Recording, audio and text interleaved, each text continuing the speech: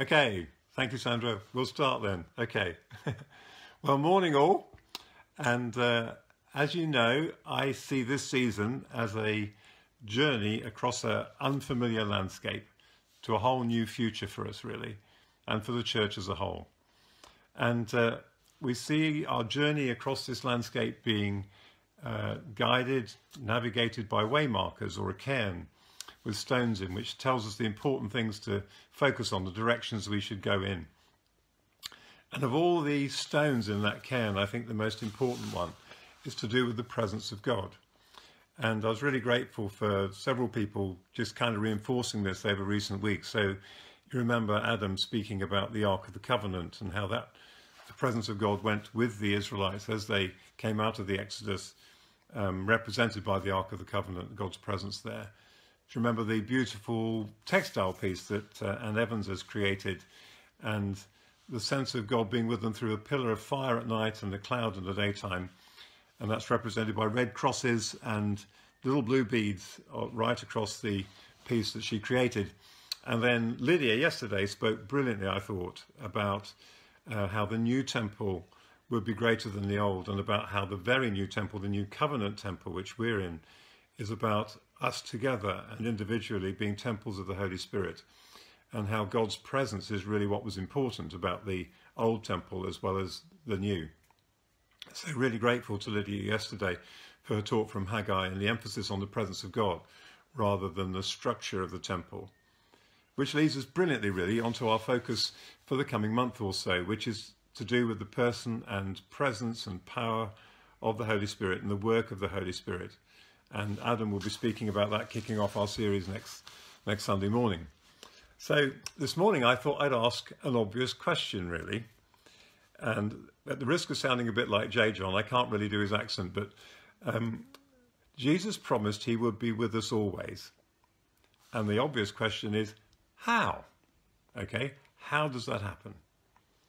So I want to read you one passage of scripture, refer to some others, and we're going to look a bit, a little bit at the how Jesus is with us in our lifetime, in our life, through our life in these days.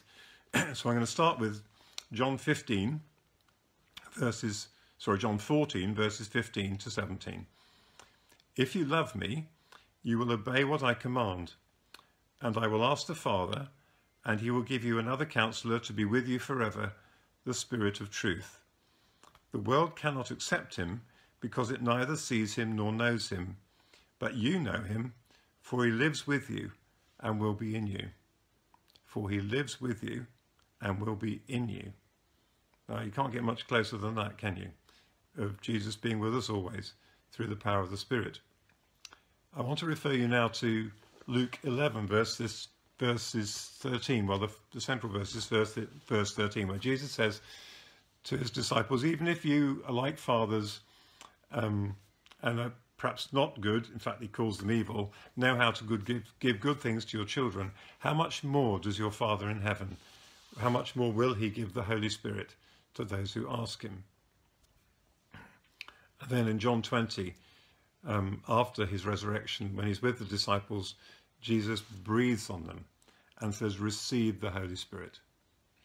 So that promise of receiving the Holy Spirit goes through the next few weeks with them until the day of Pentecost, when after a period of waiting, the Holy Spirit comes and they are filled with the Spirit and they go on from there. And I want to just rehearse with you briefly some of the things that went on from there because they're pretty good, really, and pretty exciting. So, sometime after Pentecost, probably not long, they were hauled up, the disciples were hauled up uh, uh, by the religious leaders and questioned for what they were doing, mainly out of jealousy and out of fear, I think.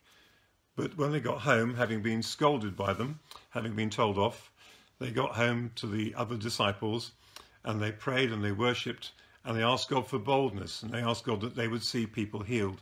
And the result was that they were filled again with the Holy Spirit and the whole place shook. So, first principle being filled with the Spirit doesn't happen once, it's something that happens again and again at particular times. And we're called to be always filled with the Spirit, as Paul points out in Ephesians. In Acts 5 2, it says, We are witnesses of these things, and so is the Holy Spirit, whom God has given to those who obey him. So again, they're answering the religious leaders who have been critical. And they're saying not just us, but the Holy Spirit within us is witnessing that the things that we're talking about are true.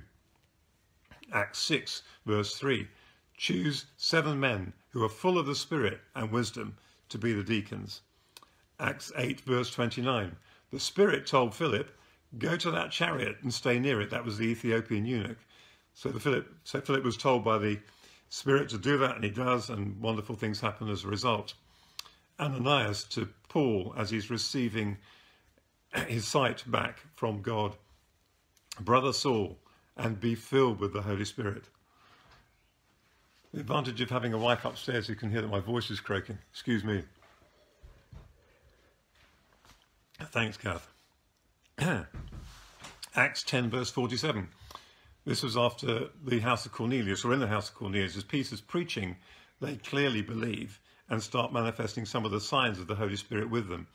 So he says, Can anyone prevent these people from being baptized with water? They have received the Holy Spirit, just as we have. Acts 13, verse 2. This is now in Antioch, when Paul and Barnabas are there. When they were worshipping the Lord and fasting, the Holy Spirit said, What did he say? He said, Set aside for me Paul and Barnabas for the ministry to which I've called them. Acts 16, verse 6. This is now when Paul's on his missionary journey with some friends, and they've determined that they're going to go to uh, Mysia and Bithynia, but the Holy Spirit stops them. So the verse says, having been kept by the Holy Spirit from preaching the word in the province of Asia, then they come to the border of Mysia. They try to enter Bithynia, but the Spirit of Jesus would not let them. Isn't this an incredible, immediate kind of relationship with the Holy Spirit, with God through his Spirit?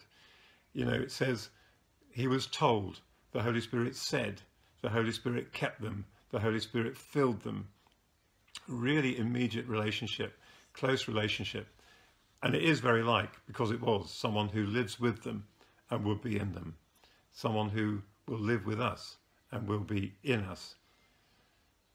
How were they empowered by the Holy Spirit? What is it that kept up this, this infilling, this encounter with God the Holy Spirit? I mean, firstly, it was after a period of waiting, as per Jesus' command, that they were filled with the Holy Spirit, and a posture of waiting and seeking Him and praying and worshipping and fasting and, and being there waiting for God to do what He promised to do. But after that, there was this ongoing life of prayer and worship together, whether it's in the upper, upper room or a team on mission.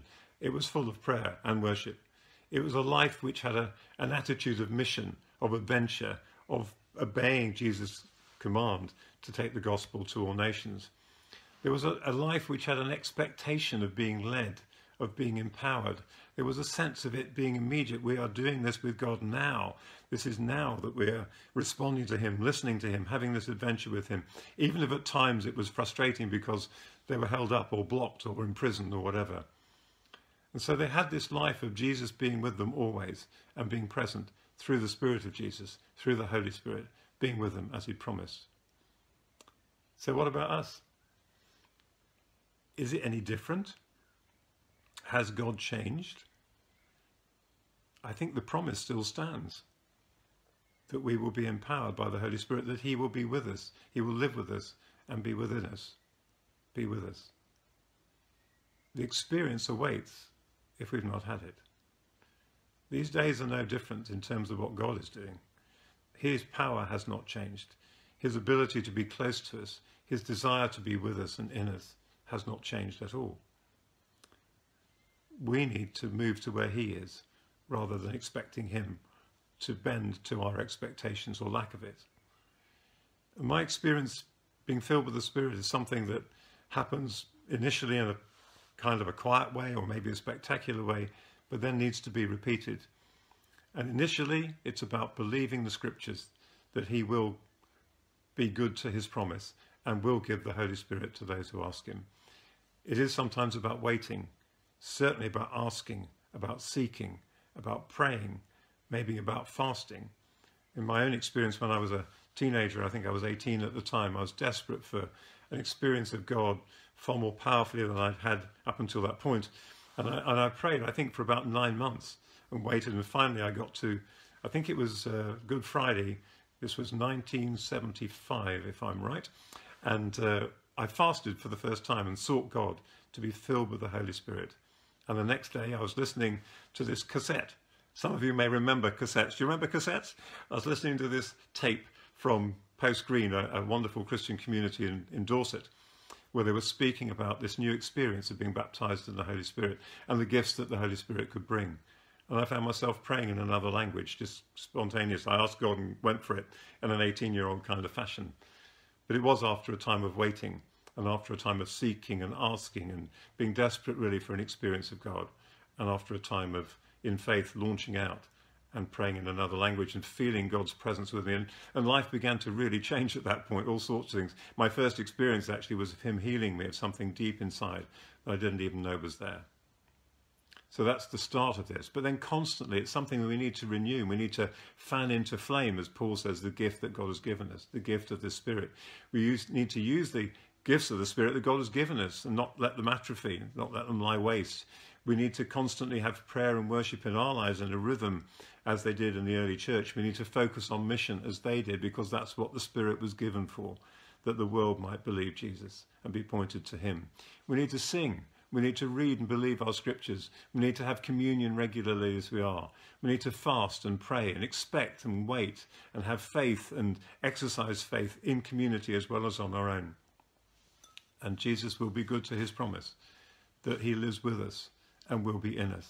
And our experience of him today will be and can be as immediate as, our, as their experience was then. And it could begin today, this Monday morning, the uh, 8th, I think, of June 2020. So let's go. Let's do it. Why not? Now, some of you may never have had an experience of being filled with the Holy Spirit. For others, it's something that you've lived with for many years. But wherever our starting point, let's go for it today or recommit to it today to have a life that is filled by the Spirit of God. Now, some of you will immediately think you'll have a delaying voice in your head, won't you? Right now. You'll have some rational, rational idea as to why this can't be right or why it can't happen. You'll argue with yourself. Some of you will feel you're not good enough. Some of you will be afraid. But this is Jesus we're talking about. It's the Father, Jesus, his Father, who pours out his Holy Spirit on his children. It's the Spirit of Jesus we're receiving. It's not safe, but it's good. The Holy Spirit transforms our lives to be effective in his hands, and he will lead us into all sorts of adventures, and that's right and good. But let's not deny him that privilege. Let's not be disobedient. Let's be open to being filled again. So I want to pray and worship a bit now and invite you to join me.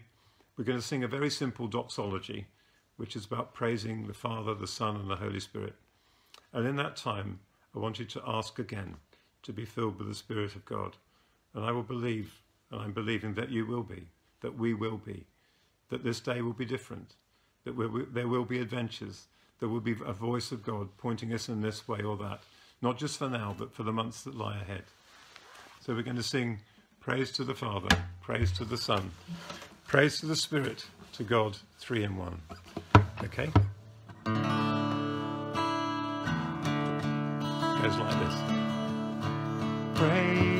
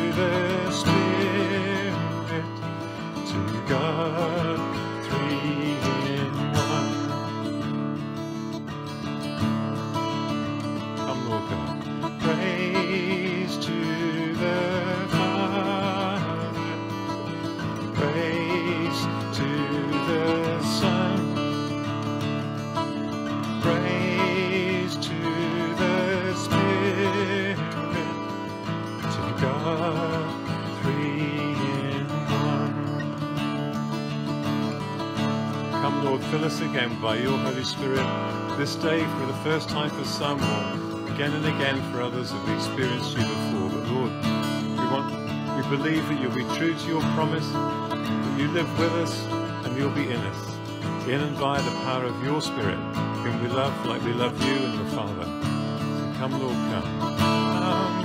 Come, Holy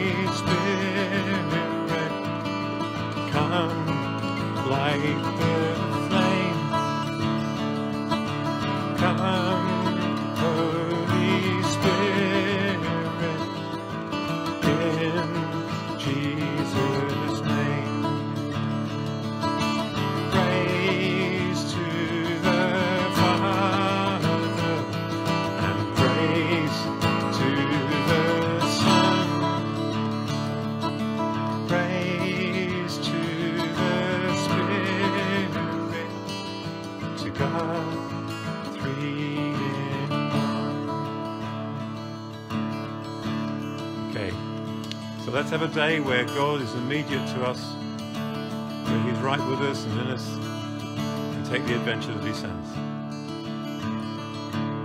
Thanks, God. Thanks for being together. See ya.